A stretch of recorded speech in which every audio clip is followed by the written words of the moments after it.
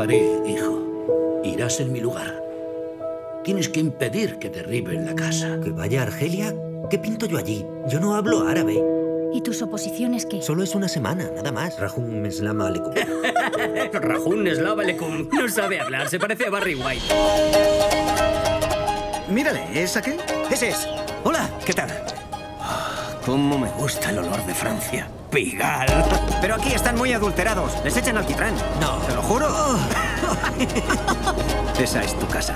Ven que te presente a mi primo, el que vive en Francia. Eres bienvenido. ¿Cómo estáis por aquí? Argelia es un país muy rico. Argelia es un país rico, pero nosotros no. ¿Pero qué es todo ese ruido? ¿Granjero busca esposa? ¿Dónde estás?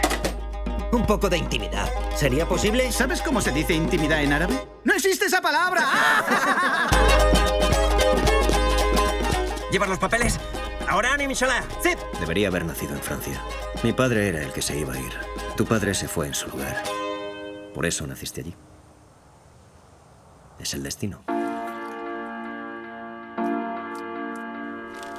Se ha venido aquí con tus papeles. ¿Cómo que se ha ido a Francia? Te he dicho que no te fiaras de él. Yo soy francés. Quiero volver a casa, nada más. Ser francés no se lleva en la frente. Vino para una semana y ahora no puede irse. ¿Por qué quieres volver?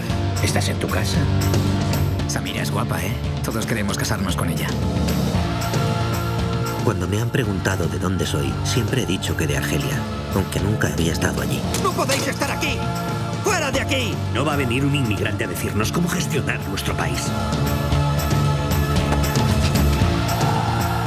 No conocía el país de mis padres, dónde habían nacido, cómo habían crecido. A veces nos falta curiosidad cuando se trata de nuestra historia.